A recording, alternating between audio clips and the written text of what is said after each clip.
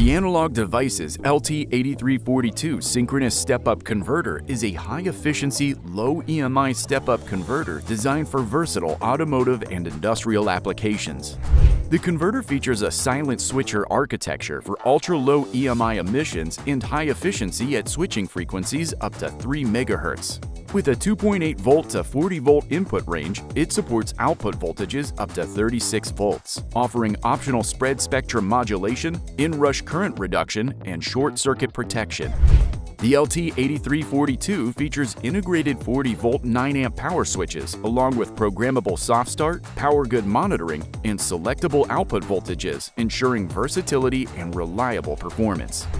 Housed in a compact LQFN package, the Analog Devices LT8342 synchronous step-up converter is perfect for space-constrained automotive, industrial, and general-purpose step-up applications.